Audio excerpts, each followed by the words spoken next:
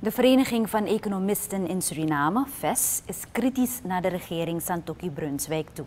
De vereniging heeft graag dat zij een samenhangend pakket aan maatregelen presenteert dat evenwichtig is en door de samenleving geaccepteerd kan worden. De VES heeft het gevoel dat de regering tot nog toe met ad hoc maatregelen bezig is. Op grond hiervan heeft de vereniging gisteren een gesprek gehad met de regering. VES-voorzitter Vincent Ramoutar Singh zegt dat er bij zijn organisatie nogal wat onduidelijkheid bestond over het economisch programma dat de regering wil doorvoeren om de economie weer op het goede spoor te krijgen. We denken dat de regering op de goede weg is, maar veel te langzaam opereert. We denken dat het tempo verhoogd moet worden, aldus Ramoutar Singh. Tijdens het gesprek is er afgesproken dat de VES commentaar mag leveren op het pakket wanneer het af is.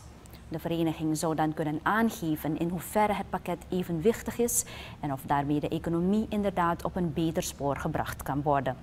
De VES-voorzitter merkte op dat de maatregelen die tot nog toe zijn getroffen geen vertrouwen geven en van verbetering. Verder zegt Ramoutar Singh dat VES partner wil zijn van de regering. Zij wil de regering in alles ondersteunen waar die behoefte aan heeft en waar de vereniging het vermogen toe heeft. Hij spreekt van een goede respons tot nog toe en verwacht ook een betere communicatie.